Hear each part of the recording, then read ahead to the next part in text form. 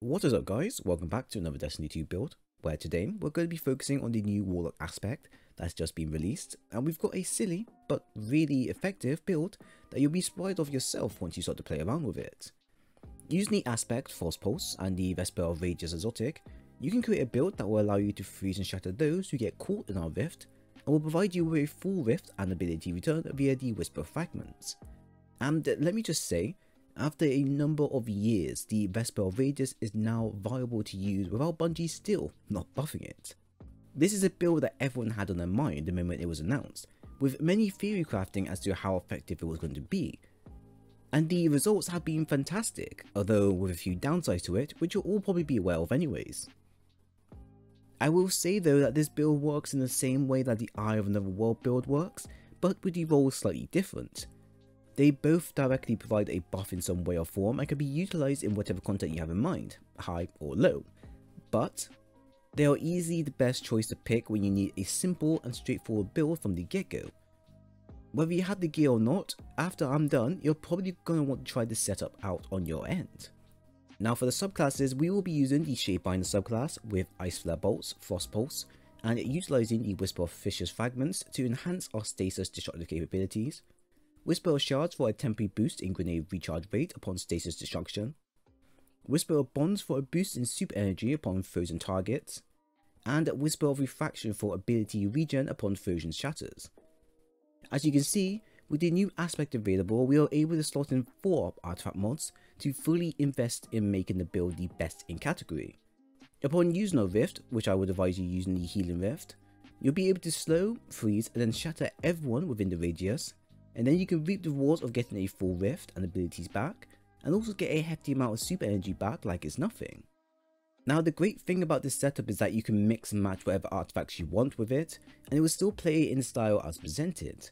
This offers a large room of customization as while the subclass customization is fully on point to your design, it also means that the mods and perks you choose can also benefit from it as well, or not. And when I mean not, I mean you can have a build that focuses entirely on the Warmind styles, and still have the subclass set up which will still be beneficial. So like two builds in one. Now for the Rift side of things, like I mentioned, I would recommend you have the Healing Rift for longer survivability when pulling this off, as it will require you to get up close and personal. For your grenades, I've chosen to use the Duskfield, which is a great option to use when up against a large group of enemies, and can be utilised with the Rift to slow them down and then activate the Rift, etc.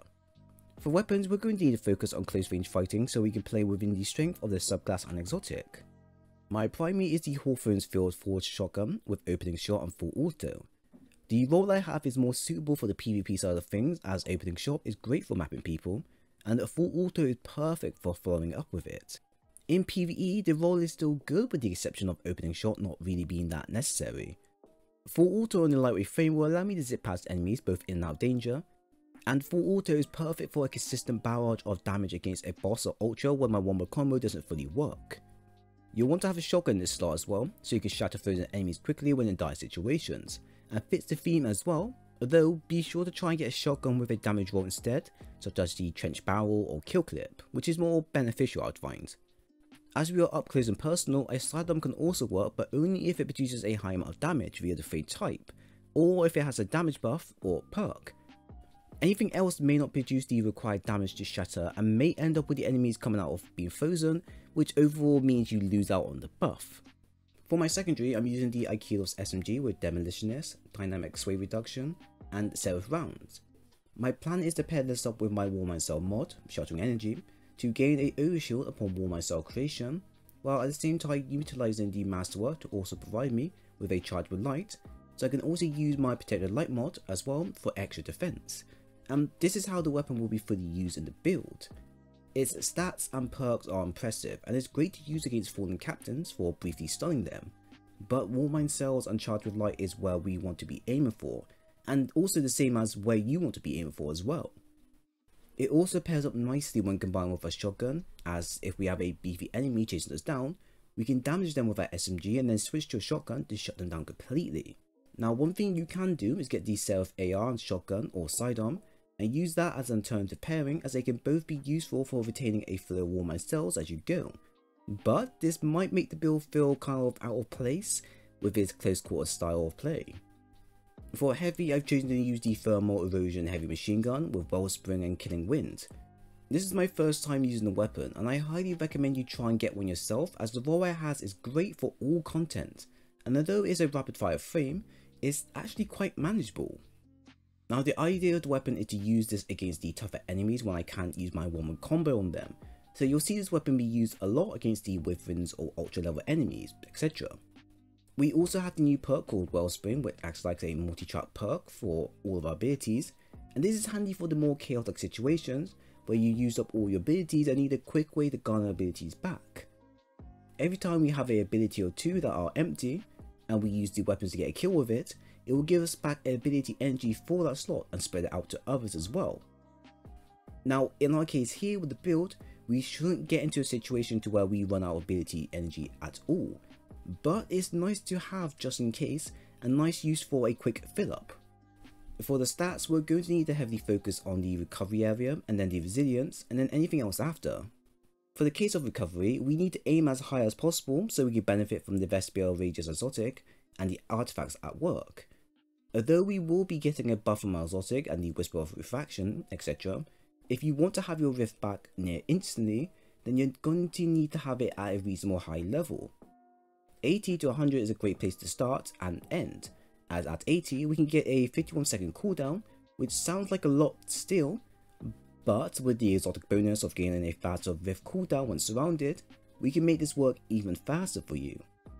You could also leave it at 70 if you like, but I would recommend you stick with the 18 above for the full benefit from there on out. For our resilience, this will need to be at 50, roughly, because of the situation we're going to be ending up in. Now, don't go any higher than this if necessary, as we will have the Warmind Cell mods to help us, and the Protective Light mod as well. The rest of the stats can be placed into whatever level you like, I would recommend some points into the intellect area as the build can also get your suit back really quickly, under a minute or so. So if that's the type of playstyle you want, I will recommend put some points into that area there.